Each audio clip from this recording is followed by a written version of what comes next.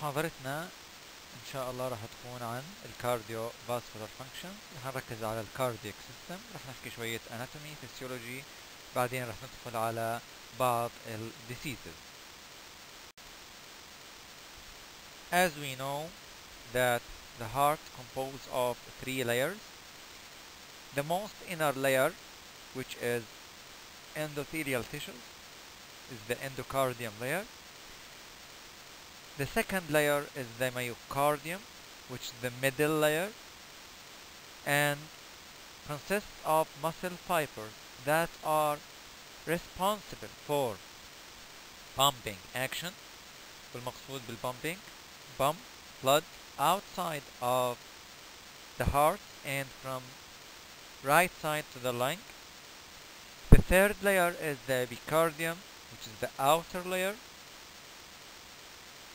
the heart as a whole as a muscle encased in a thin fibrous sac called pericardium غشاء التامور this layer or this fibrous thin layer consists of viscera and parietal layer between these two layers there is a fluid that ease the process of cardiac contraction and decrease the friction هذا السائل الموجود بين هاي الطبقتين الفيسيرا والباريتال تقلل من عملية الاحتكاك خلال عملية الكونتراكشن. The heart is consisted of right side and left side. Also, we can say that we have upper chambers and lower chambers. The upper are the atrium and the lower are the ventricles. The right side consists of right atrium right ventricle which distributes the deoxygenated blood toward the lung to be oxygenated. The left side which consists of left atrium, left ventricle in order to distribute the oxygenated blood to tissues, to the whole body parts. There is a difference in the thickness between the left side and the right side. And this difference is related to the workload what we mean by workload it's the efforts the function of each side. As the workload in the part of the heart increase the size or the thickness of that side increase.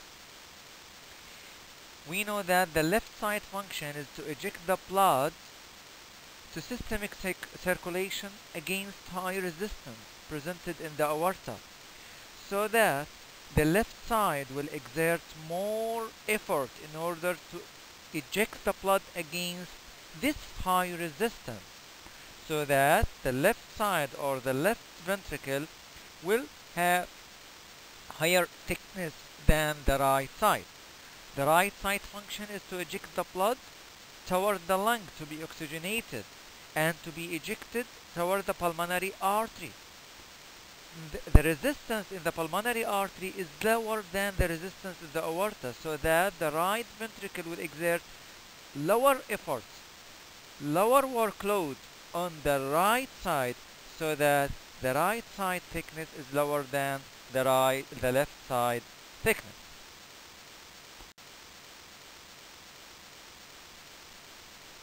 In this slide, we have the heart valve, the atrioventricular valve, which separates the atrium and the ventricle. Here we have the mitral valve, which separates the left atrium from the left ventricle, or called the bicuspid valve, Sinai's surface. Also we have the tricuspid valve, which separates between the right atrium and the right ventricle. Also we have the semilunar valve which are the pulmonic valve and separate between the right ventricle and the pulmonary artery called pulmonic valve and we have the aortic valve which separates between the left ventricle and the aorta. This is an important picture that clarifies the main structure of the heart muscle.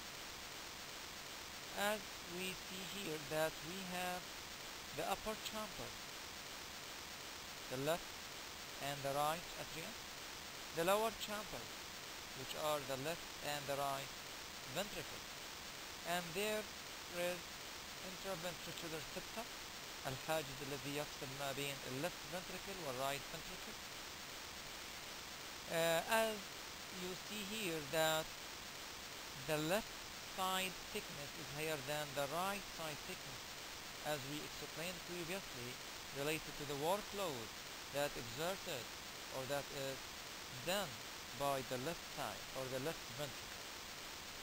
Also we can see here the semilunar valve. The first one is the aortic valve that separates between the left ventricle and the aorta. Also the pulmonic valve that separates between the right ventricle and the pulmonary artery.